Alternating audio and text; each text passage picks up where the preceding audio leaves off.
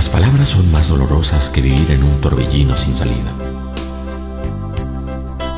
Se quedan grabadas en tu mente. Siempre son recuerdos que lastiman tu vida